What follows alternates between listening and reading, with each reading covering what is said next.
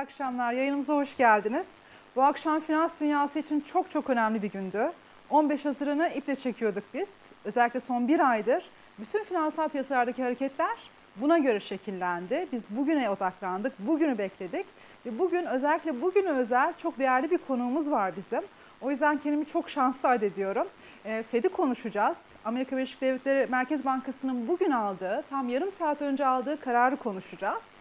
E, Bu karara göre finansal piyasalar özellikle yarın göreceksiniz çok fazla değişiklik olacak dolar TL kurunda, diğer paritelerde. Buna göre önümüzdeki dönemde neler olacak bunları konuşacağız. Özellikle Fed'de çalışmış, zamanında Fed'de bulunmuş çok değerli, çok uzman bir isim programımıza konuk. Bugün e, Sayın Erkin Şahinöz, hoş geldiniz. Hoş bulduk. Çok teşekkür ederim. O şeref bana ait. Davetiniz için ayrıca teşekkürler. Çok çok teşekkür ediyorum. Sağ olun. Çok naziksiniz. Ee, Ben evet kendimi şanslı hallediyorum. Çünkü Fed'de çalışmış bir ekonomistsiniz ama hemen bir fiyatları önce e, bahsetmek istiyorum. Fiyatlardan e, bahsetmek istiyorum. Çünkü Fed'in kararından sonra ciddi anlamda değişim oldu. Bakalım dolar TL kurunda şöyle bir dolar TL 2.91.54'e kadar geri çekildi. Evet. Erkin Şahinöz. En sert reaksiyon altın, euro dolar ve dolar TL'de. Onun dışında piyasalar gidiyor geliyor aslında. Hı, petrol aynı kaldı Petrol zaten. aynı kaldı. Petrol fiyatına evet petrol fiyatına da bakalım. Petrol fiyatında da şöyle bir gelişme var. 49.25'te. Evet. 49.25'te dünden beri bir düşüş var aslında. Ne oldu? Yani hani nasıl gördük biz bu e, bugün yani yarım saat önce gerçekten bu metin yayınlandı. Metin de bizim önümüzde. E, toplantıdan sonra bir metin yayınlıyor Amerika Birleşik Devletleri Merkez Bankası.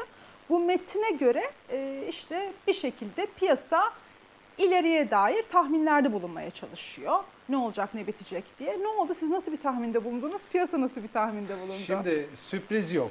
Ee, bu arada hani şunu söyleyeyim. Sürpriz yok mu? Ama Yok. sürpriz yok. 2.91.50'ye kadar inmiş. Yani euro dolar biraz yukarı yaptı. Bu akşam yarın belki tekrar aynı tabloyu görebiliriz. Şu açıdan sürpriz yok. Şimdi e, piyasa bir beklenti oluşturdu kendine. Neden? İşte Mayıs ayına ait Amerikan verileri kötü geldi. Kötü gelince de e, Fed bu toplantıda pas geçmez düşüncesi, pas geçer düşüncesi zaten hakimdi. Pas da geçti. Yani faiz artırımı bekleyen yoktu ama zaten yapmayacaktı. Neden yapmayacaktı? Yani Amerika'da veriler Mayıs ayında da iyi gelseydi Fed bu akşam faiz arttıramazdı. Çünkü 23 Haziran'da muhtemelen sonra konuşacağız onu. İngiltere'de referandum var. Böylesine büyük bir risk öncesi e, Fed'in bir siyah beyaz riski alma şansı yok. Sonradan çok büyük bir pişmanlık oluşabilirdi. Dolayısıyla Fed her koşulda pas geçecekti. Ne var önemli değişiklik? Hani ona bakalım. İşte istihdam piyasası biraz bozuldu. Evet bozuldu. Onu bildiriye koydular. Ee, yıl sonu e, Fed üyeleri faiz oranını nerede görüyorlar? Bir miktar aşağı çekmişler.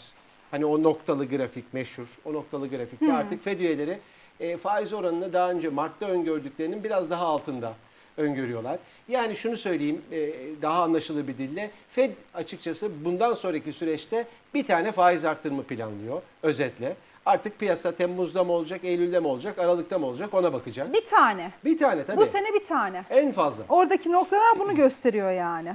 Çünkü Mart ayındaki toplantısından sonra bu sene içerisinde iki defa faiz artırabilir yorumu yapılmıştı. Evet. Şimdi bir tane faiz artırabilir. Niyet oydu. iki tane sığdırmaktı yılın geri kalan kısmına. Ama şimdi şöyle bir durum var. Siz de biliyorsunuz bu tarım dışı istihdam hani dünyanın güneşin etrafında dönmekten vazgeçip tarım dışı istihdamın Dünya etrafında. güneşin etrafında dönmekten vazgeçip Amerika Birleşik Devletleri'ndeki tarım dışı istihdam rakamının etrafında dönüyor artık. Sevgili seyirciler bunu takip edelim. Evet bu her ayın ilk cuması malum. O veri geçen sefer Her ayın ilk cuması saat 15.30'da. kötü gelince eee, şimdi Fed şunu bekleyecek. O verideki bozulmanın geçici olduğuna ikna olması lazım. Bunun için de iki tane daha veri lazım. Hangi aylar? Haziran ve Temmuz. Bunları görmeden harekete geçemez. E, Haziran'ı bekleyecekse, Temmuz'u bekleyecekse ne zaman faiz artırımı yapabilir? En erken Eylül. En erken Eylül. O da tam Amerikan seçimleri öncesine geliyor 8 Kasım'da. Amerika'da başkanlık seçimi var. E, kolay bir şey değil öyle başkanlık seçimleri öncesinde faiz artırımı yapmak. Yani bizi bu iş aralığa kadar götürebilir. Bu çok önemli bir gelişme. Evet. Çok çok önemli yorumlar yapıyor Erkin Şahinöz. Bir Erkin Şahinöz'ü tanıyalım aslında. Biz finans dünyasında hepimiz tanıyoruz Erkin Evet, Şahinöz'ü ama Sevgili Cem TV izleyicileri de bir tanısın Erkin Şahinöz'ü. Çok değerli bir uzman dediğim gibi. Aslında kendisi makine mühendisi. Daha sonra ekonomi üzerine e, yüksek master'ı bulunuyor Amerika'da, Amerika Birleşik Devletleri'nde. Ve e, Amerika Birleşik Devletleri Merkez Bankası çalışıyor, Fed'de çalışıyor. 2002 ile 2006 arasında ben de aslında ar- arada hava Birleşik Devletleri'nde çalıştım diye ama benimkisi stajdı yani. Estağfurullah, Mühendislikte bir stajdı ama Evet. Şimdi gerçekten çok önemli. 4 yıl boyunca bir orada bir ekonomik araştırmalar, araştırmalar grup koordinatörü olarak bulunmuşsunuz herhalde. Doğru, doğru. Yani Fed'in içerisinde bizatihi araştırma bölümünün içerisindeydiniz. Evet. Şöyle iyi de bir dönemdi, güzel bir dönemdi. Çünkü Amerika 2002 2001. ile 2006 dönemi. Evet, 2001 krizini yaşamıştı Amerika. O krizden çıkıyordu. Yani para politikasının çok hareketli olduğu bir dönemde. İşte gene Fed'in e, faiz indirdiği, faiz arttırdığı, böyle bugünlerde olduğu gibi hareketli bir dönemde. E, aslında bir okuldu hepimiz için. Bir E, okuldu evet tabii, evet. Tabii. Peki şimdi orada bir Chicago Fed var, Cleveland Fed var sizin bulunduğunuz. Fark ediyor mu bizdeki enflasyon sepetindeki ağırlıklar gibi oradaki Fed'de de şey? New York Fed daha mı mesela güçlü? Chicago Fed daha mı şey? Şimdi Ee, şu- hepsi konuşuyor çünkü bütün Fed başkanları konuşuyor. Doğru. Hepsinin bir ağırlığı var. E, Fed içerisinde 12 tane Fed bölgesi var. Fed e, e, şey bölgesel Fed var. Evet. Her birinin bir sorumluluğu var. Kimisi Evet. para politikasından sorumlu, kimisi finansal piyasalardan, kimi e, emek piyasa, istihdam piyasasından her birinin ayrı uzmanlık alanı var. Ama en nihayetinde her biri FED toplantıları öncesinde bir görüş oluşturuyor. Yani atıyorum Cleveland Fed, Chicago Fed biz bu toplantıda Chicago Fed olarak faiz artırımı istemiyoruz. Görüşümüz bu yönde. Herkesin bir görüşü var. Ağırlık olarak hepsinin aynı mı? Ta- e, tabii ki ama New York Fed'in e, ayrı bir e, şeyde o FOMC toplantısında ayrı bir Ağırlığı ağırlığı, var. vardır. Özellikle de şimdi Janet Yellen'dan sonra en önemli iki isim Stanley Fisher, başkan yardımcısı, bu e, eski e, İsrail eski Merkez Bankası Başkanı. Evet. E, o du- duayen bir isimdir o da. Evet.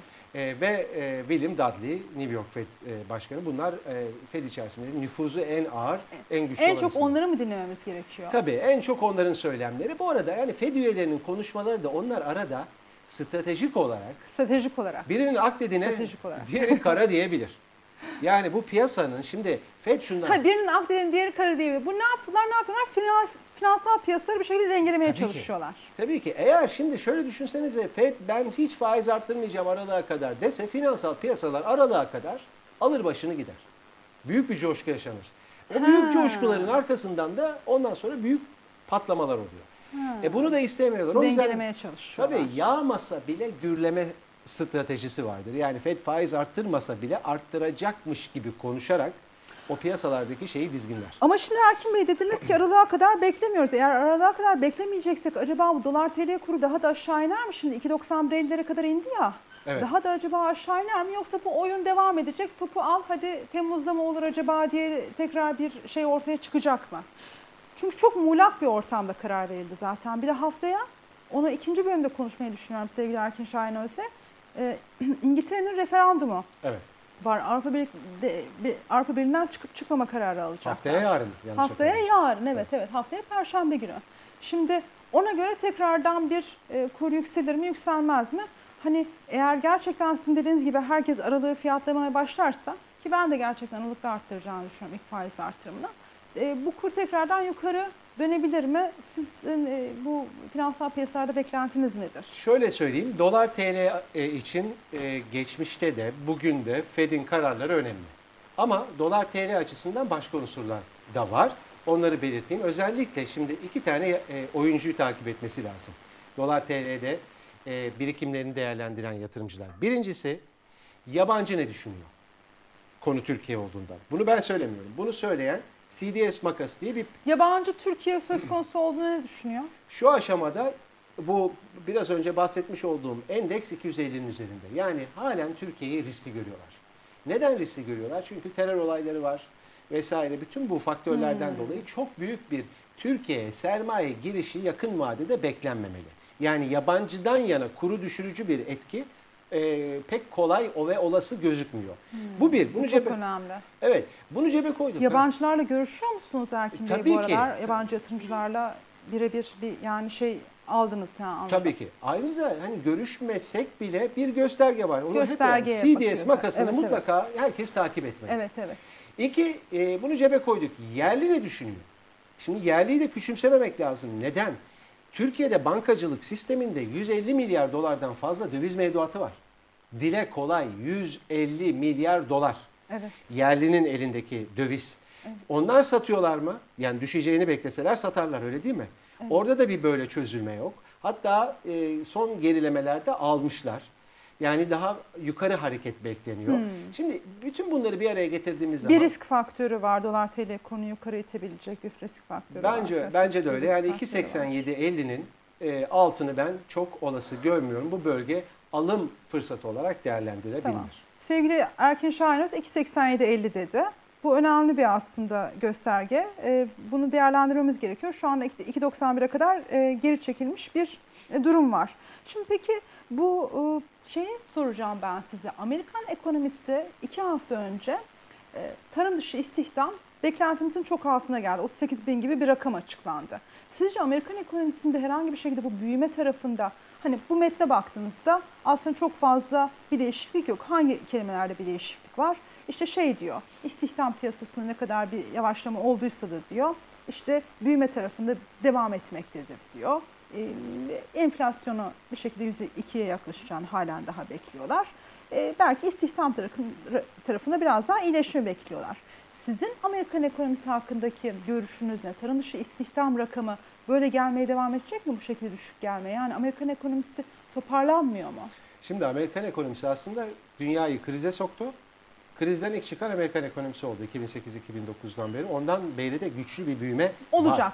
var. var. Bu böyle Çok devam katılıyorum ben Erkin Şahinöz'e baştan beri. Evet, çok Evet. da ben evet e, yorumlarınız e, teşekkürler. Evet buyurun. Ee, şimdi ben Amerika'dan kaynaklı bir problem görmüyorum ama dünyanın başka diyarlarında Avrupa vesaire buralardan e, çıkabilecek bir e, büyüme e, kaynaklı bir risk olursa Amerika'yı ancak öyle bir şey bozabilir. Şu aşamada faizler çok düşük Amerika'da. Hakikaten yani tarihte görülmemiş düzeyde. E, ben böyle arada verilerde patinajlar olur. Bir iki ay kötü gelir. Ondan sonra bu hani bir veriyle de yargıya varılmaz. Evet bu patoloji Evet. bir kerelik olmuş olabilir Evet. bu veri. Şimdi insanlar e, tabii alıp sattıkları için merkez bankalarını da kendileri gibi düşünüyorlar. Yani merkez bankaları bir trader değil. Bir Evet. veriyle e, dünyanın sonu da gelmiyor. İyi bir veriyle de e, her şey bir anda güllük gülistanlık da olmuyor. Evet. Ara sıra bu tip e, verilerde bozulmalar olur. Şu aşamada ana senaryo olarak korkulacak bir şey Amerika'dan yana yok. Ben Çin'le Yok ilgili de çok büyük bir risk görmüyorum. Öyle mi? Ee, görmüyorum çünkü iki çocuk politikasına geçiyorlar. 1.4 milyar insan uyuyordu, tüketmiyordu. Şimdi onları uyandırıyorlar. Ama Çin'de veriler o kadar iyi gelmiyor. Yani hani bir büyüme özellikle kredi taraflarında ciddi sorun, kredilerde sorun olduğu söyleniyor. Evet. Ee, yani herhangi bir risk beklemiyorsunuz Yok Çin'den. beklemiyorum. Allah Çünkü yani şu, bankalarda ufak tefek problemler var. Ama çok güçlü bir Çin Merkez Bankası rezervi var. var, rezervler var. Evet yani bir sıkıntı yaşansa parayı hop dökecekler problemin üstüne, işi kapatacaklar, bitirecekler. O kadar. Tabii. Ee, ben ikinci çocuk e, politikasını çok önemsiyorum. E, çünkü ikinci çocuk demek e, okul harcamaları demek, eğitim demek. Tüketim e, harcamanın tüketim artması Tabii. demek.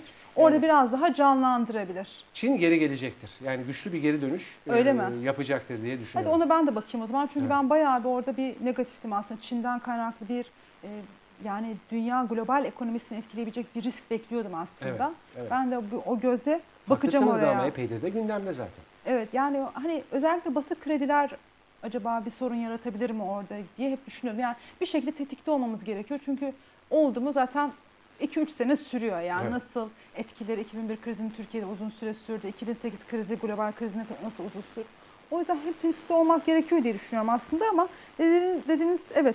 Peki e, sizce piyasa tepkisi bu e, metne göre rasyonel mi? Rasyonel ve oynaklık dışında da bir şey olmaz. Yani yarından öte e, Fed'den kaynaklı piyasalarda büyük bir coşku veya büyük bir çöküntü olmayacaktır. Bu böyle gidecek, gelecek bu akşam, yarın sabah. Evet sindirecektir. 2.91.60'ta şu anda dolar TL kuru. Dolar TL kuruna tekrardan sürüyorum. Evet 2.91.50 seviyesinde. Yani aşağı geldikçe alıcılar geliyor dolara. Dolayısıyla da o e, kurdaki Çok da aslında gerilemedi. 2.92.50, 2.93 bölgesindeydi Evet. karardan önce. Bir miktar. Euro dolar çünkü 1.12'den 1.13'e gitti. Şöyle olabilir diye düşünüyorum. Bundan sonra verilere göre tekrardan dolar TL kuru artabilir. Evet ben de aynı görüşteyim. Belki öyle bir şey olabilir. Aynı Çünkü görüşteyim. bazen gerçekten piyasa tepkisi çok rasyonel olmuyor. Yani hani beklen yani ne, ne diyorlar? Onlar diyorlar ki mesela bu beklediğimiz kadar güvercin gelmedi diyorlar Fed'in bu notu. O zaman tepki daha da böyle şey oluyor. Ee, yani beklendikleri kadar yumuşak bir tonda olmadığında tepki daha da yüksek oluyor. Evet. Demek ki bu tamamen beklenti içerisindeydi.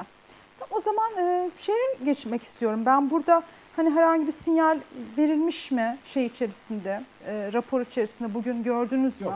İleriye dönük güçlü bir sinyal e, bugünkü ne toplantı bildirisinde ne de... İleriye dönük herhangi bir sinyal yok. yok. Peki acaba şimdi öyle muğlak bir ortamda karar verdi ki bir muğlaklık dediğiniz gibi bir kerelik bir gelen tarım dışı istihdam verisinin düşük gelmesi. Bence muğlak. Evet. Göreceğiz ne olacak. İkinci muğlaklık da Brexit. İngiltere referandumu. İngiltere şeyden çıkacak mı çıkmayacak mı bilmiyoruz. Onu kesin göz önünde bulundurmuştur. Peki acaba bu Brexit nasıl etkiler Fed'in kararına? Yani İngiltere'nin Avrupa Birliği'nden çıkıp çıkmaması Amerika Birleşik Devletleri'nin aldığı kararı neden etkileyecek? etkilememesi mümkün değil. Çünkü neden? Şimdi artık bütün dünya göbekten birbirine bağlı. Yani hepimiz Yunanistan'ız, hepimiz Amerika'yız, hepimiz İngiltere'yiz. Bu, bu noktaya geldi. Yani bir Yunanistan'daki problem Avrupa üzerinden dünyayı sarsabilirdi. Geçen yılın mevzusu buydu. Şimdi bu yılın da mevzusu papatya falı açıyoruz. İngiltere çıkacak mı çıkmayacak mı? Çıkacak mı çıkmayacak mı? Her gün bir anket geliyor. Her anket geldiğinde piyasa bir tepki veriyor, reaksiyon veriyor. Ee, şimdi kestirmek çok zor. Çünkü anketler bir kere algı yönetimi yapıyor İngiltere. Bak çıkarsak çok kötü olacak. İngiltere ekonomisine şöyle hasar verecek vesaire. Halka etkilemeye çalışıyorlar. Evet. Ama e, anketlere bakıyorsunuz ki arkasında güçlü gazeteler var sponsorluğunda çıkmış. Yani öyle herhangi bir anketi konuşmuyoruz. Önemli anketleri. E, burada 52, 48, 52 çıkalım diyenler. Ve İngilizler... Ve e, bir anda son anda arttı çıkmak isteyenlerin Evet, anketlerde durumu. Yani sayın seyirciler İngiliz vatandaşları Avrupa Birliği'nden çıkıp çıkmama kararını özellikle son iki hafta içerisinde yüksek oranda çıkma yönünde kullanmaya başladı anketlerde. Bu gerçekten bence belki daha önce öyleydi. Peki yani evet göbekten birbirimize bağlıyız. Amerika Birleşik Devletleri ona göre karar verecek. Nasıl bir etkisi olabilir İngiltere ekonomisine gerçekten? Şimdi dünyanın sonu olmaz. İngiltere'nin çıkması. Neden olmaz? İngiltere ile Avrupa arasında, İngiltere ile Almanya arasında ticari ilişkiler, finansal ilişkiler devam eder. Mümkün değil. Sadece psikolojik ilk etkisi psikolojik olacaktır. O eğer çıkması halinde. Finansal piyasalarda bozulma olur, bir miktar panik olur, Avrupa'ya olan güven azalacak e, birliğe. Zaten başarısız bir proje. E, parasal birlik dışında doğru düzgün hiçbir şey e, bir e, çatı altında yönetilemiyor. Ne ortak dil var, ne ortak siyaset var, ne ortak mali politika var. Tek bir faizle, tek bir parayla işi götürmeye çalışıyorlar. Haliyle Avrupa'ya olan güveni azaltır, piyasaları bozar. E, Fed de e, sadece ekonomiye bakmıyor. Çünkü finansal piyasalar dönüyor, bozulduğu zaman reel ekonomiyi de vuruyor. Mesela örnek bizde de aynı şey e, değil mi? Kur anormal bir şekilde yukarı gittiği zaman yatırımcı frene basıyor, tüketici ne oluyor ya diyor. Herkes bir ne oluyor ya dediğiniz anda zaten bilin ki ekonomik aktivite e, durmuştur. E, o yüzden de finansal piyasaların reaksiyonu e, Fed için de önemli. İngiltere'nin kararı bu anlamda e, Fed'in de e, eğer Brexit olursa yani İngiltere çıkarsa Finansal piyasaları etkileyeceği için önemli. tabii tabii. Yani Fed aralığı bile pas geçip 2017'ye bırakabilir öyle bir senaryoda. Öyle bir senaryoda 2017'ye bile bırakabilir. Bile, bile bırakabilir. Yani İngiltere'nin referandumda evet kararı alması durumunda Evet. daha da ileri gidebilir. Bu çünkü sterlin seviyesini etkileyeceğinden dolayı değil mi? Yani sterlini etkileyecek, euro para, dolar paritesini etkileyecek. Bu da şeyi Fed'i biraz daha ileri atacak tarihine. En önemlisi risk alma iştahını. Yani piyasaların güvenini, piyasa aktörlerinin moralini bozar. O moral bozukluğu Ha. ile beraber borsalarda yaşanabilecek bir düşüş, Amerikan ekonomisinin de tüketici ve yatırımcının bir miktar frene basmasına bir bakalım görelim. O en kötü şeydir o ek- reel ekonomide. Aynen bir bakalım Çok doğru. görelim. O, O çok belirsizlik tehlikeli. çok. Peki Erkin Bey siz anket sonuçlarına baktığınızda ya da yani kendiniz konuştuğunuzda ne bekliyorsunuz bu perşembe günü kararı? Ben 3-5 gün öncesine kadar inanın ki anketler ne derse desin İngiltere çıkmaz. Diyordum içimden Çıkmaz içimden. diyordunuz. Ama Çok şimdi- fazla e, akademisyen de öyle diyor Türkiye'de. Ama kendime güvenimi kaybettim bu anketlerle Anketleri beraber. görünce. Anketler beni de şimdi e, etkilemeye başladı. Yani e, 52 48 çok cepte bir şey değil. E, ve İngilizlerde milliyetçilik ruhu güçlüdür. güçlü. E, ve iyi de böyle ayrılalım kampanyası yapan önemli gruplar da var. Dolayısıyla e, son dakikaya yani o gün sandığa gidene kadar ya ucu kimse- ucu ne olursa. Kimse beklemedi. Yani net bir şey kimse. O yüzden de ben yatırımcılara sor- söylüyorum. Soruyorlar arada ne yapalım? Pound dolar, pound alalım mı vesaire. Evet. Bekleyin ya. Yani bitmiyor ki Bir fırsatlar bakayım ona. şimdi. Yani bu Kim bilebilir ki bunu? seviyesini de aslında söyleyeceğim. Şeyde ikinci yarıya geçtiğimizde ama 1.41'e kadar zaten geriledi. 1.41'lere kadar geriledi. 1.38.50 Bugün, çok önemli bir yer E. Fed'in e, Amerika Birleşik Devletleri'nin aldığı karardan sonra 1.41.78'e kadar çıktı. Ama yani bayağı bir gerileme oldu onun fiyatında. 4-5 gündür piyasalar yavaş yavaş bu İngiltere'ye çıkarsayı fiyatlamaya başladı. Evet. E, Alman borsasında epey bir düşüş oldu. Euro dolar bakmayın şimdi yükseldi de o, o da geldi. Pound dolar da aşağı geldi. Yani euro Evet. değer kaybetti, pound değer kaybetti dolar karşısında. Normal bunlar. Bu bir 23 Haziran'a kadar da bu devam eder böyle. Böyle devam Tabii eder. tabii. E, Peki me- mesela e, çıkmama durumunda tekrardan sterlinde bir değerlenme görülür mü? 1.48, 1.50 bandına kadar Tekrar bir var. anda fırlar Tabii. değil mi? Peki o dolar fiyatını nasıl etkiler? dolar fiyatını da Dolar TL mi dolar euro mu? dolar TL tarafını ben size sorayım. Çünkü yani şöyle olur. GBP dolar sterlin fiyatında eğer değerlenme başlarsa bence dolar da buna göre değerlenir diye düşünüyorum ben. Katılıyorum size. Katılıyorum. Euro dolar böyle bir senaryoda 1.17.50'ye kadar coşku yaşayabilir. Hazır Fed Euro de erteledi. dolar. Tabii Euro dolar. Bir, o 1.17.50 olunca bizde de dolar TL 2.87.50 o bahsetmiş olduğum çok güçlü destek o bölgeye kadar geri çekilebilir. Ama ben gene söylüyorum öyle bir fırsat verirse dolar almak için fırsattır. İçinde bulunduğumuz konjonktürde. Yani dolardaki düşüşleri almak Hep için, alma için fırsat, fırsat olarak, olarak görüyorsunuz. Siz bu şekilde konuşabiliyor musunuz? Alın satın falan diye konuşabiliyor musunuz? Yok yatırım tavsiye niteliğinde değil. Burada söylediklerim yatırım tavsiyesi Değil. niteliğinde değildir diye Tamam, de baştan tırnak içine Hayır ben böyle bazen şey oluyorum. e, Hep seviye veriyorum da ben Evet, acaba evet. seviye mi verilir ne denir falan filan. Ama gerçekten düşüşleri alım e, şeyi olarak fırsat olarak görebilirler gerçekten e, se- seyirciler, e, yatırımcılar. Peki orada e, Euro dolar paritesinde peki şu anda konuştuğunuzda ne diyorsunuz? Yani e, bir e, %52 çıkma olasılığı var, %48 çıkmama olasılığı var şeyden, Avrupa Birliği'nden. Yani bir kalsınlar mı, dursunlar mı, hiç hareket etmesinler mi? Etmesinler. Bana sorduklarına Çok verdiğim cevap. bir ortam? Bazen Etmesinler değil ben mi? bilmiyorum diyorum. Aynen öyle. Kim Kim, bilebilir ki? bilebilir? Yani oradaki onların e, haleti ruhiyesini İngiliz vatandaşının sandık İngiliz günü vatandaşı. mümkün mü bilmek? Aynen öyle. Yani bu tamamen bir e, sallamak olur. E, Tabii, burada bizim tabii. işimiz e, belli bir mantık çerçevesinde bunu yapmak, Büyük yürütmek. riske atmış oluruz o zaman Evet, değil bizim mi? konumuzdaki insanların bilmiyorum demeyi de bilmesi lazım. Çok güzel. Yani bu önemli. Bazı şeyleri her şeyi bilmek zorunda Tabii. da değiliz. Referandum sonucunu Tabii, bilemeyiz. Politik gelişmeleri bilemeyiz. Evet. Peki bu e, şey ne olabilir acaba? Euro dolar paritesindeki Euro dolar paritesindeki gelişme nasıl olabilir? Orada da 1.12 ile 1.17 arasında herhalde. Çıkmazsa 1.17.50'ye kadar euro dolar gidebilir. Orası tekrar dolar yönlü pozisyon almak için uygun olur. Tekrar söylüyorum 1.17.50'ye kadar gidebilir ama o bölge tekrar dolara, eurodan dolara dönmek için iyi bir fırsat olur. Çünkü bu sefer Fed başlayacaktır. Fed fiyatlaması. Ee, çıkarsa asıl ne olacak? Çıkarsa işte tekrar o euro dolarda 1.08'ler. Hatta eğer e, boyut biraz daha farklı bir noktaya gelirse daha önce iki defa dip yaptı 1.05 bölgesine kadar euro dolarda düşüş görebiliriz. Çıkarsa. Çıkarsa bu önemli bir mevzu. Çünkü İngiltere diyor ki ben artık senin üstünü çizdim.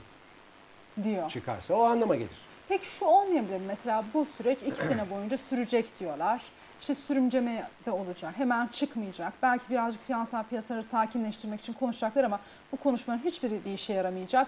Ve büyük ihtimal dediğiniz rakamlar görülecek öyle bir durumda. Hatırlarsanız İskoçya'nın da. Öyle değil mi? Avrupa'ya olan Güven güven, oylaması. oylaması. Net nokta budur. Ne Doğru. zaman çıktığı hiç önemli değil. Peki ardı arkası yani sapır sapır dökülür mü diğer ülkelerde böyle durumda? Ben parasal birlik konusunda çok umutlu değilim zaten.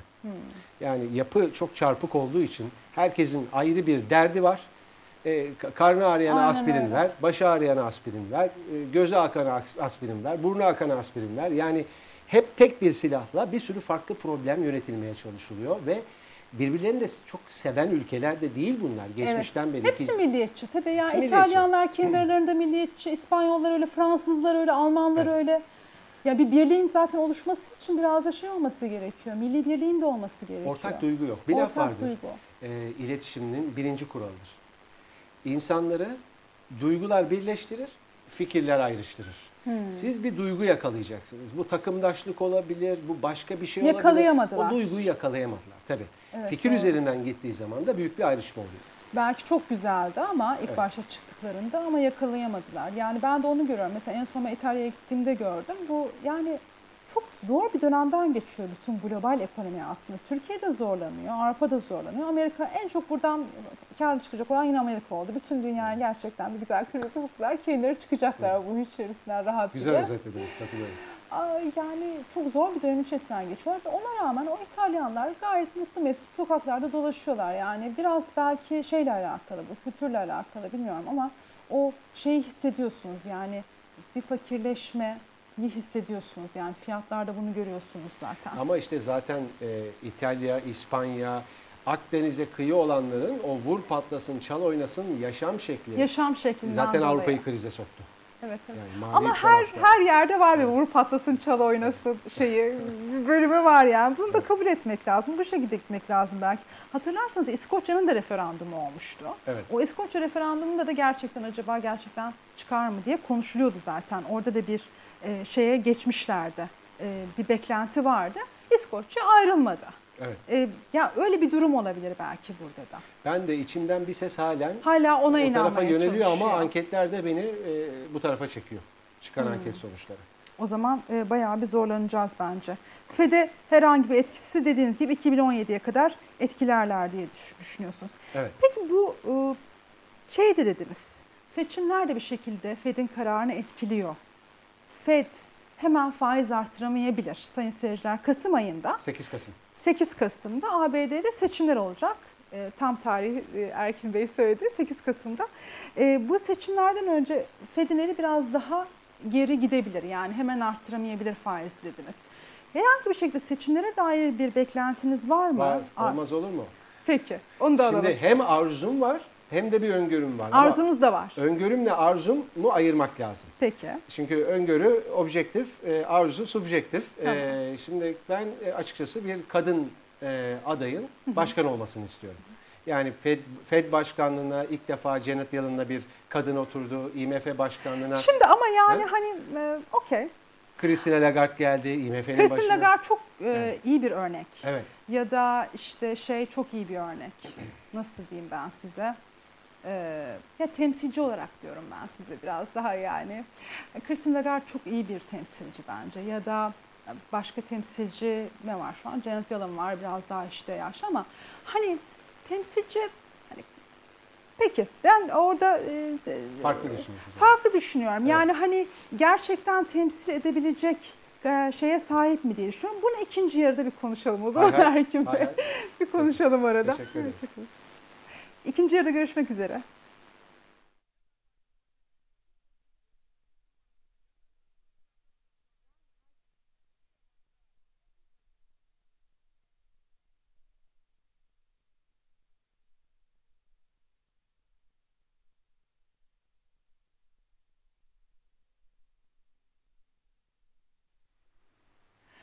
Finans Dünyası ikinci yarıya hoş geldiniz sevgili seyirciler. İkinci yarıda ben birazcık size rakamlardan bahsetmek istiyorum. Bakalım neler oldu. Ciddi anlamda çünkü rakamlarda değişme oldu Fed'in kararından sonra. İçeride rejideki arkadaşımız Murat'tan ben rica edeceğim. Şimdi dolar TL kurundaki gelişmeleri dolar TL grafiği üzerinden gidip oradan anlatalım istiyorum size.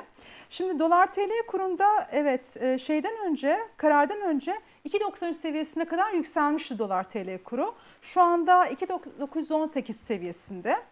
Ee, şeye baktığımızda euro dolar paritesine baktığımızda tekrardan e, şuradan 1.12.60. e, bir 1.12.90'a kadar yükselmiş aslında. Bir, e, 1.129'a kadar yükselmiş durumda. Şeyden önce Fed'in kararından önce biz 1.123 seviyesindeydi. Biz 1.129'a kadar yükselmiş. Şu anda sevgili Erkin Şahinöz'ün dediği gibi 1.12.60 seviyesinde dolar, euro dolar paritesi. Sterlin tarafına baktığımızda sterlin hakkında da şöyle bir gelişme var. Sterlin çok ciddi anlamda düşmüştü. Fed'in kararından önce 1.414 sevi e, 1.414 seviyesine kadar düşmüştü. Fed'in kararından sonra 1.42 seviyesine kadar yükseldi. 1.42'ye kadar yükseldi. Şu anda 1.416 seviyesinde sterlin e, dolar seviyesi. E, en son artık petrol seviyesiyle bir altın seviyesine de bakalım. Petrolde şöyle bir gelişme var. Petrol seviyesi 48 dolara kadar inmiş durumda. Haftanın başarısı, başında 50 doların üzerindeydi petrol seviyesi. Şu anda 48-30 seviyesinde. Altına bakalım. Altında ciddi bir gelişme var. Altın evet gerçekten bayağı bir değerlendi Fed'in kararından sonra. Şeyden önce, Fed'in kararından önce 1280 seviyelerindeydi. 1290 seviyesini aştı. 1297 dolar seviyesine kadar yükseldi. Şu anda 1290.6 seviyesinde. Ben Erkin Şahinöz'le beraber aslında bıraktığımız yerden devam edeceğim ama bu petrol seviyesini ve altın seviyesini de konuşacağız yayının devamında. Ama birinci yarıda bir ABD seçimlerinde bıraktık. ABD seçimlerinde ne olacak? İşte Donald Trump mı olacak, Hillary Clinton mı olacak? Bunları konuşurken acaba hangisi olacak?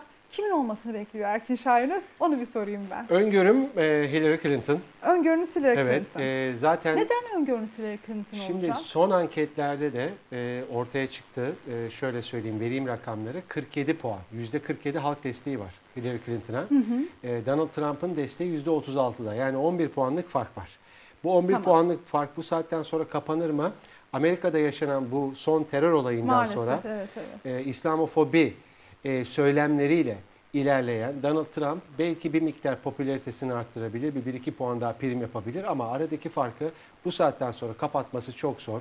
Donald Ee, Trump gerçekten o kadar İslam'a karşı bir insan mı? Ben öyle- Yoksa bunu sadece şey için mi kullanıyor? Seçim e, bir e, propagandası olarak mı kullanıyor? Şimdi bir iş adamı. Bir Donald iş adamı. Bu önemli. Evet, evet. Ee, kimseyi e, eleştiriyoruz.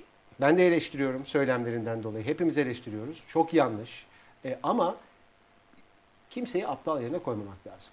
Bu bir stratejinin parçası. Strateji. Dünyanın her tarafında iş yerleri olan, firmaları olan, e, uluslararası bir şirketin başındaki bir kişinin e, böyle bir yanlışın peşinden koşmak yerine bunu bir strateji olarak benimsediğini kabul etmek lazım. Ben de Bu- öyle olduğunu düşünüyorum. Evet bu bir strateji. Orada e, Amerika'daki oy potansiyelini bu tip söylemlerle arkasına almaya e, çalışıyor.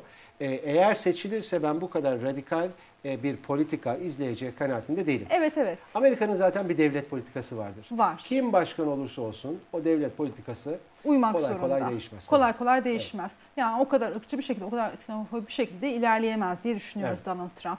Ama bakalım önümüzdeki süreç ne gösterecek? Gerçekten 8 Kasım'a kadar da biraz da Fed'in işi zor. Yani Eylül ayında da faiz artıramayabilir diye düşünüyorsunuz. Acelesi ne? Yani bu kadar bekledi. iki buçuk yıldır hepimize fenalık geldi. Arttırdı artıracak diye. Evet. Şurada bir toplantı daha bekleyebilirler. Evet ama Acelesi ben yok. mesela bugün bir yerde okudum. CNBC'nin analiziydi. İşte şey diyorlar yani Fed bu kadar çok e, risk varken önümüzde. Yani diğer ülkelere göre göre karar almalı. Baştan hemen faiz artırımına geçmeli. E, daha sonra işte şey yapmalı. e, devam etmeli gibi bir yazı vardı. Yani Evet. kendini ülkelere ülkelerin kaderine bağlamamalı diye bir yazı okudum.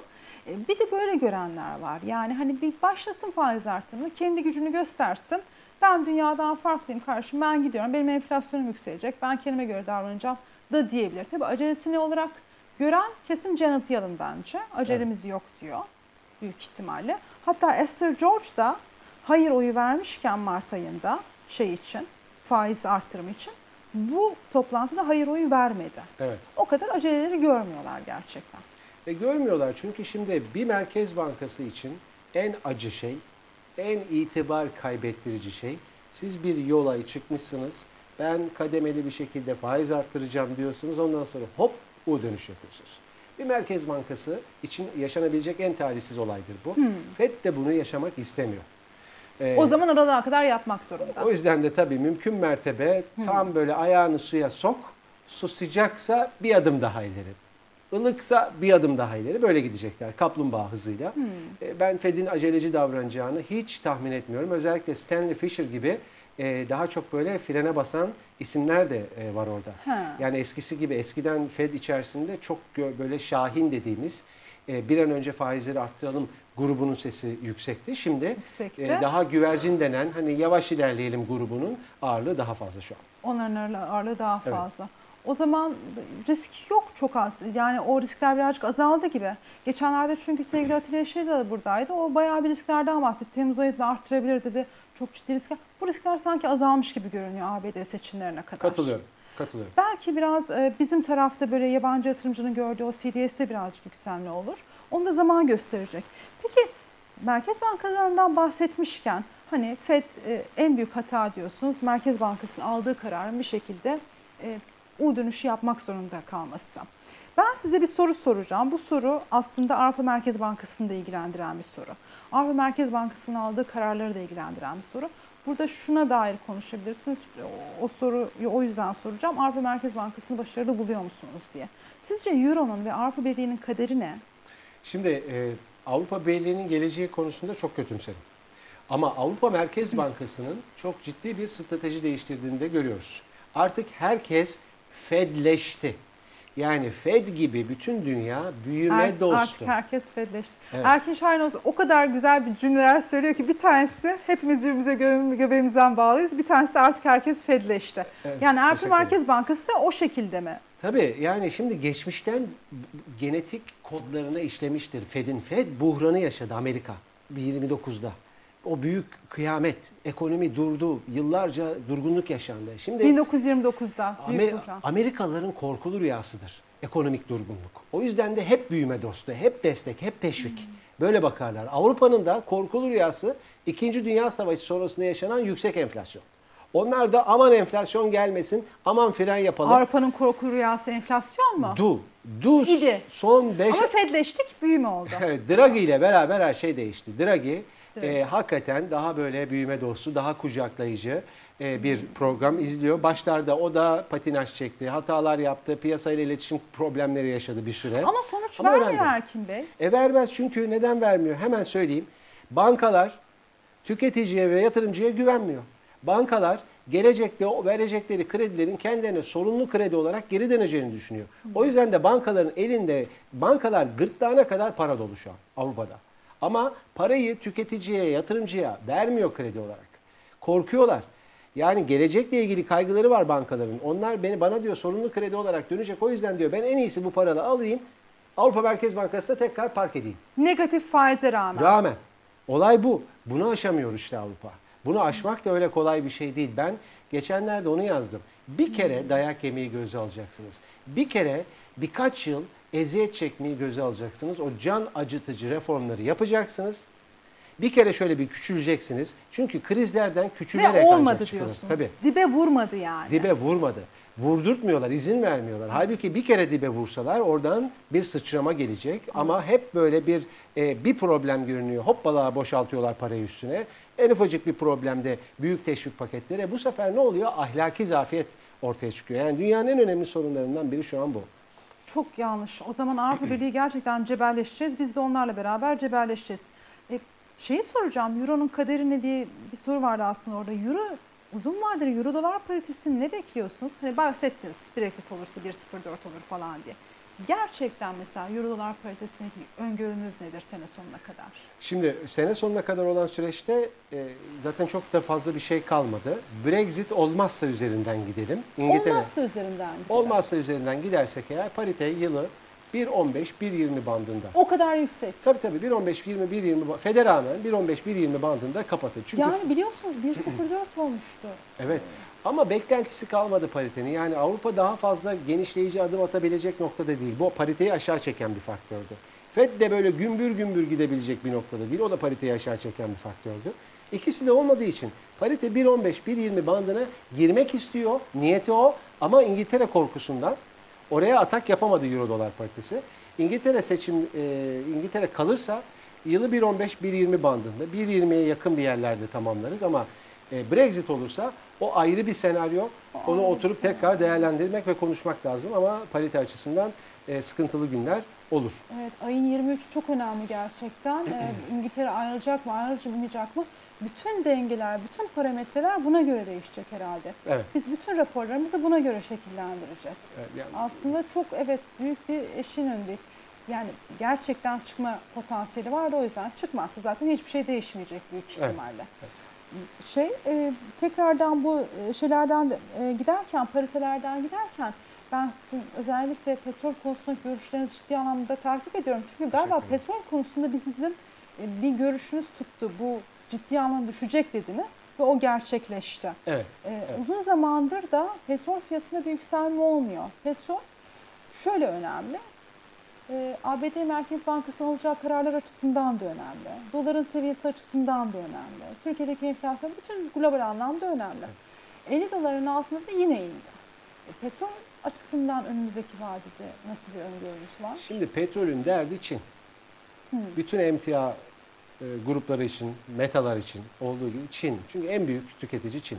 Çin'de ekonomik büyüme yavaş olduğu için de petrol fiyatları biraz sıkıntılı. Yani ben o İran vesaire falan mevzuları onlar böyle geçici gitgeller yaşatıyor ama asıl arka tarafta talep eksikliği Çin'den kaynaklanıyor yavaş büyümeden. Brexit olmazsa, İngiltere çıkmazsa petrol 50 dolardan 50 dolar eşiğini kırıp 60 dolara kadar gidebilir. Ama bulduk bir şey. Brexit çıkmazsa kötü olabilecek bir şey bulduk. Evet. Petrol artabilir. Oradan görürüz o Evet. zaman. Ama zararı. 60 doları da geçemez.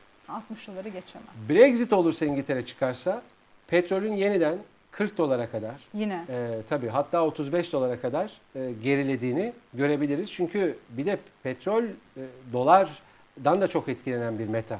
Dolar değer kazanırsa eğer euro dolar euro dolar aşağı inerse o da Evet. petrolü hırpalayacak bir e, faktör. Hmm. E, o nedenle böyle hani yakın vade için petrol zirvelerinin etrafında dolanıyor.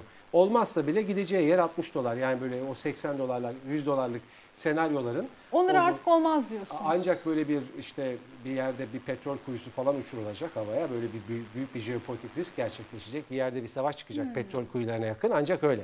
Aksi halde çok Petrol zor. fiyatları jeopolitik risklerden çok etkileniyor. O, Evet. o yüzden hani bir gün kazara jeopolitik risk yüzünden 90 dolar veya 100 dolar olursa bizim yüzümüzden değil o yüzden olmuştur. Yani Tabii. gerçekten ekonomistler öngöremeyebilir. Ama biz gerçekten altın fiyatını bence öngörebilmeliyiz. Yani eğer dolar fiyatını öngörüyorsak. Altın çok e, farklı bir emtia.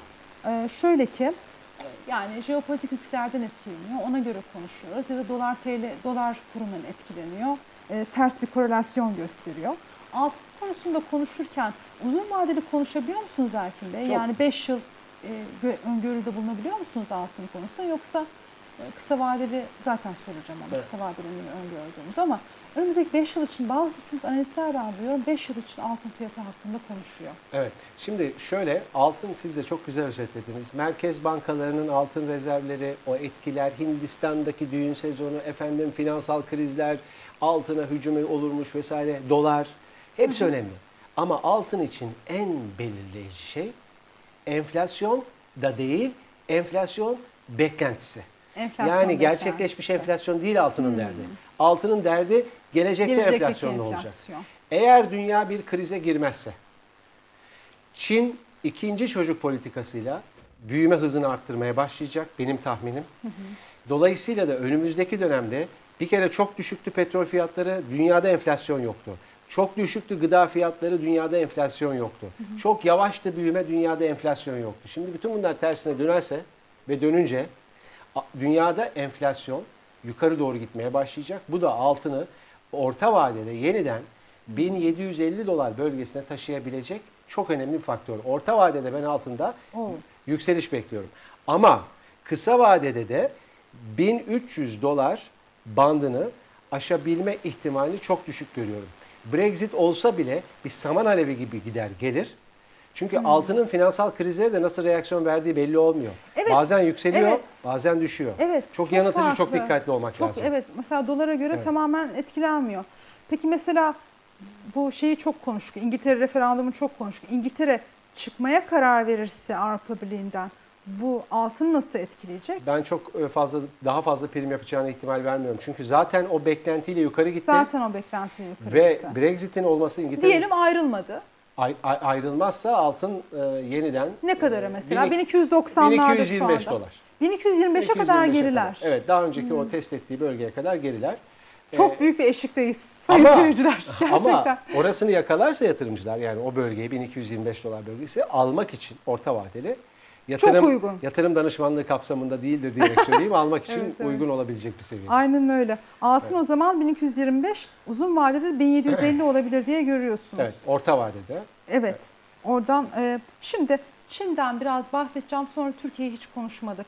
E, sevgili Erkin Şahinöz. E, Çünkü şöyle bir şey var. Erkin Bey'in şöyle bir özelliği var bir de.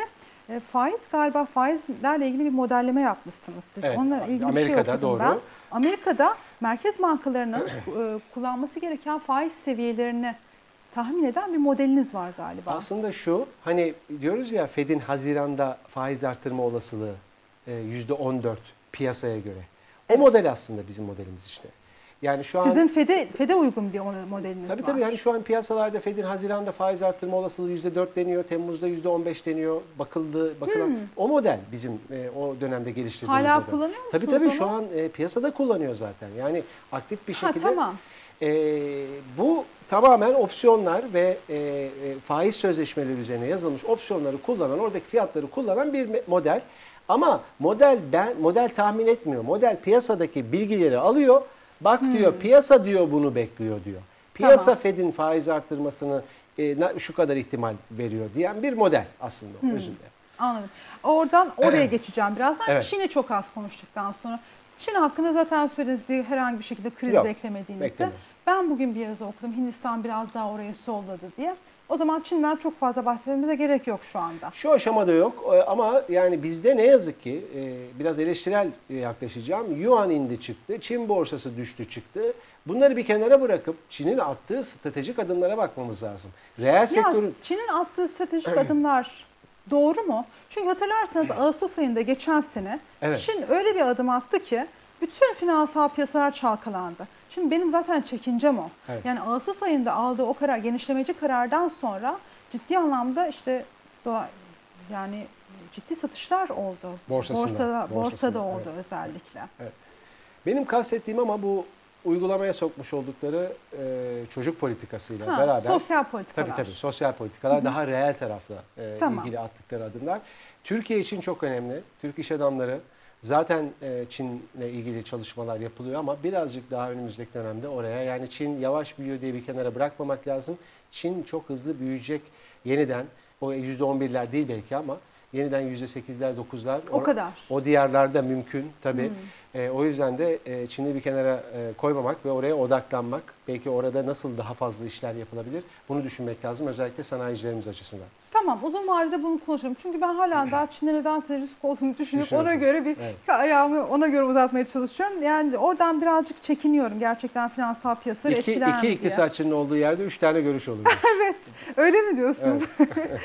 ne güzel. Ee, şimdi bir de şöyle bir e, Türkiye'ye doğru geçelim istiyorum. Evet. Türkiye'de biliyorsunuz bir taraftan da Türkiye Cumhuriyeti Merkez Bankası toplantısı haftaya e, faiz kararı olacak. Onunla ilgili ne beklentiniz aslında e, yani şu açıdan ben size soracaktım ama o zaten yaptığınız model Türkiye Cumhuriyeti Merkez Bankası faiz kararına göre değilmiş. O Evet, faiz değil. modellemeniz. Ama ona göre. kullanılabilir ama bizde faiz sözleşmeleri yok. E, ne yazık ki yani daha doğrusu aktif değil.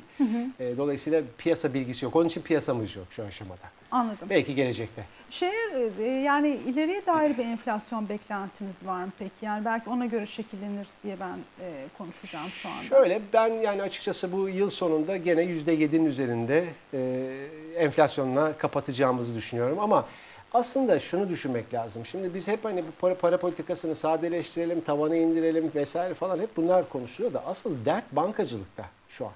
E, Ya evet tıkandık. onunla ilgili birkaç tane tweetinizi gördüm Evet. ben sizin. Bankacılık sektörüyle ilgili e, bir tıkanma mı görüyorsunuz? Tıkanma orada? var çünkü bankalar e, şimdi Türkiye'nin şöyle bir problemi var. Bankalar mevduat topluyorlar değil mi? Bankaların para bulma yeri orası. O buldukları parayı da satıyorlar, kredileştiriyorlar. Şimdi Türkiye'de bankaların para bulma vadesi yani mevduatın ortalama vadesi 2 ay. Bankaların açtıkları kredilerin vadesi 2 yıl. Ve bakıyoruz şu an tarihte görülmemiş düzeye geldik. Bankaların mevduatı kredileştirme oranı %116. Bu şu demek. Bankalar topladığı mevduattan daha fazla kredi veriyor. Yani artık yok. Yok. Evet. Verilebilecek kredi Peki bunun e, şeyi ne olur? zorunlu karşılık oranlarını indirmek. Ha. Merkez Hayır zorunlu karşılık oranları eğer indirmezlerse Evet. Yavaş yani büyüme. bunun komplikasyonları ne olur? Yavaş büyüme. Yavaş büyüme. Yavaş büyüme. Yani bankacılık. Yani siz faiz tarafındaki bir indirimden ziyade zorunlu karşılıklardaki indirimin daha doğru olabileceğini Çok düşünüyorsunuz. çok kesinlikle öyle. Hmm. Kesinlikle öyle. Yani zaten bu indirimler doğru düzgün de yansımıyor ki kredi maliyetlerine. Yani Merkez Bankası 1.25 İndirimi. puan indirdi tavan faizi. E ne oldu? Hani iş dünyasına yansıması ne oldu? Kredi e, e, vatandaşa yansıması ne oldu? Çok sınırlı düştü faizler. Çünkü asıl olan o değil. Şu an derdimiz paranın maliyetinden ziyade paranın miktarı. Paranın miktarını arttırmanın yolu da Merkez Bankası diyecek ki bak ey bankalar siz her topladığınız 100 lirayı 11,5'unu bende tutuyordunuz. Artık ben o kadar istemiyorum sizden biraz daha düşük tutun. Boşta kalanı da kredi olarak verin. Ee, ekonomiye destek olsun. Yani bir şekilde büyümeyi bu şekilde canlandırmak gerekiyor. Eğer bu olmazsa ciddi anlamda bir yavaşlama ol- olur diye düşünüyorsunuz. Tabii ki, tabii ki. Ama gene yani bu yıl böyle %3,5-4 bandında bir e, büyümeyle ben yılı tamamlayabileceğimizi düşünüyorum. Evet, şimdi onu Her şeye soracaktım. Büyüme tarafında e, ne görüyorsunuz diye soracaktım. %3,5-4 bekliyorsunuz. Yılın yine bütünü için evet. Ee, şimdi ilk çeyrek güçlü çıktı ama özel tüketimde. Bizim istediğimiz özel yatırımın canlanması. Evet. 4 senedir yok. Tarafında Siz de yazıyorsunuz. Evet, ben de evet. takip ediyorum çok Evet, evet. yakından olun. değerli yorumlarınızı. çok Ee, aynı görüşteyim. Yani özel yatırımını hareketlendirmemiz lazım. Ee, orayı hareketlendirmenin en önemli yolu da bir kere daha rahat kredi bulma e, imkanı e, yaratmaktan e, geçiyor. Zaten şimdi hükümetin bir reform programı da var. O da hayata geçecek. Umarız onun da e, fa- fa- O bir etkisi olur. programı hakkında ne düşünüyorsunuz? Çok detay yok Bey? henüz-. Yani detayları bilmiyoruz. Hani konsept olarak en azından niyeti biliyoruz. O niyet çerçevesinde bir detay program oluşturulabilirse e, özellikle ihracat pazarları açısından önemli olacaktır. Evet çünkü ihracatta ciddi bir yavaşlama var şu anda. Yani ihracatta yavaşlamadan ziyade ihracat birazcık şey yedi, darbe yedi. Yani şu Rusya'da olduğu işte Avrupa Birliği'nin ciddi bizim şey ihracat partnerimiz de oradan bir darbe yedik. İhracatın canlanması gerekiyor. Reform paketi işe yarar mı? Yarar ama en büyük bence Türkiye'nin şu kur takıntısından bir an önce yakasını kurtarması lazım. Kur takıntısı da, kastım şu. Yani IMF yıllardır Türkiye'ye dayattı. Yüksek faiz, düşük kur. Yüksek faiz, düşük kur diye diye diye diye biz burada montaj ekonomisi haline geldik. Montaj ekonomisinden de kastım şu. 100 birim ihracat yap, onun 60'ını 70'ini ithal et. E, burada montajını yap, ondan sonra ihraç et. Şimdi bizim şu kur bir gitse, bir süre bedeli olur. En Yani kur enflasyon- gitsin diyorsunuz. Gitsin 3.60'a gitsin, 4'e gitsin. Bir, bir süre yüksek enflasyon olacaktır. Yan etkileri olacaktır. Ama orta vadede hem Türkiye'yi dış pazarlarda daha rekabetçi hale getirecek hem de o makineler var ya ithal ettiğimiz. Onları artık ithal edemeyeceğiz çünkü çok pahalı hale gelecek. Ve burada üretmek zorunda kalacağız.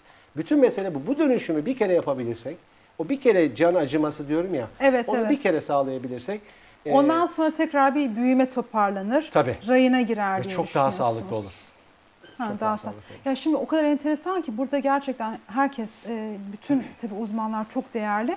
O kadar farklı yorumlar alıyorum ki bununla ilgili. Ben mesela işte kimisi diyor ki enflasyonun e, dindirmemiz için bu kurun çok fazla yükselmemesi gerekiyor. E Şimdi sizin açınızdan baktığında gerçekten kur yükseldiğinde tamam enflasyon da birazcık yükselecektir ama ihracat canlanacaktır, işte büyüme canlanacaktır. Bir Evet. de bu açıdan bakmak gerekiyor. Aslında bence bu değerlendirmeleri dünya konjonktürüne göre karar vermek gerekiyor. Yani dünyada neler oluyor ona göre karar vermek gerekiyor. Bence benim anladığım kadarıyla bu durumda, bu konjonktürde belki de biraz daha büyümeye yönlenmek gerekiyor.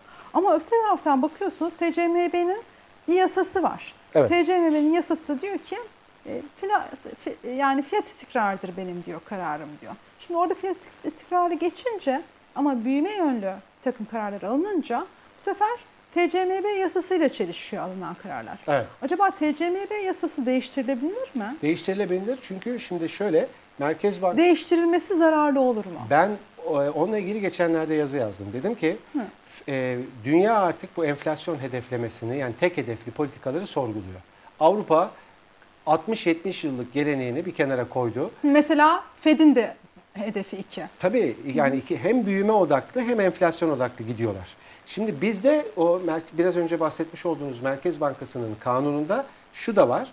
Fiyat istikrarıyla yani enflasyon hedefiyle çelişmemek kaydıyla büyümeyi de destekleyecek politikalar iz- izler diye bir e, Not var. Not da var. Ama o tabii oradan hesap vermiyor Merkez Bankası. Hesap verdiği yer Enflasyon. Enflasyon. Biz de diyoruz ki İşte oradan çok hesap verdiği için o yüzden çok Merkez Bankası'nın çok üzerine gidiliyor. evet Belki de bunu değerlendirmeleri gerekiyor. Şöyle Türkiye'nin potansiyel büyüme hızı kaç? 4,5.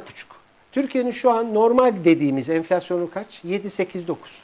E o zaman biz enflasyonda birazcık eşiği yukarı çekelim. 5 hedeflemeyelim de 6,5 hedefleyelim. Ama bir yandan da büyüme tarafında %4,5 reel büyüme hedefimiz olsun. Hem büyümeyi gözetelim hem enflasyonu gözetelim. Çünkü artık dünya vazgeçti bundan. Tek hedefle bu iş olmuyor. Bak bakın şimdi finansal istikrar hedeflemesi diye bir şey var Amerika'da, Avrupa'da, Türkiye'de de öyle. Finansal piyasalara bile bakıyoruz artık. Neden oradaki bozulma dönüyor? İşte reel ekon- ekonomiyi etkileyebiliyor. Şimdi yeni bir dönem başladı Merkez Bankası'nda. Yeni başkan, yeni yönetim.